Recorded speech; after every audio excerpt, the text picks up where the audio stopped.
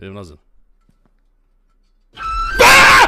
Jebem li ti majku, da ti majku jebem u pičku us...